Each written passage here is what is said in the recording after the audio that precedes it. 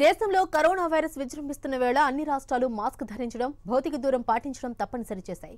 గాలి ద్వారా వ్యాపించే కరోనాను నిలువరించాలంటే మాస్కే కీలకం.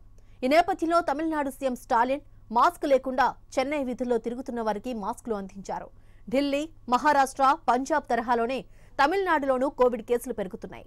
ఇవాళ సెక్రటేరియట్ నుంచి క్యాంప్ ఆఫీస్కు వెళ్తున్న సమయంలో రోడ్డుపై వెళ్తున్న కొందరు మాస్కులు లేకుండా తిరుగుతుండడాన్ని సీఎం స్టాలిన్ గమనించారు.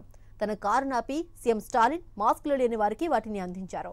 కొందరికి ఆయనే స్వయంగా మాస్క్ తొడిగారు. దీనికి సంబంధించిన వీడియోను తన ట్విట్టర్లో షేర్ చేశారు. ప్రతి ఒక్కరూ మాస్క్ను ధరించాలంటూ విజ్ఞప్తి చేశారు.